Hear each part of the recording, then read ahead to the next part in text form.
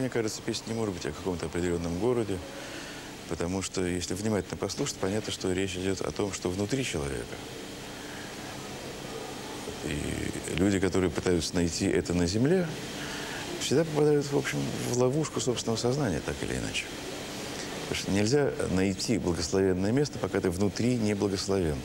А когда внутри, у тебя есть благодать внутри, тебе любое место будет благословенно. Если взять любого человека, поместить его в рай, то ему там будет плохо, он будет хотеть пива, будет искать, кому набить морду, или с кого снять налоги, или кому заплатить налоги, и будет мучиться. В рай попадают чистой душой, и чистой душой для них и здесь рай.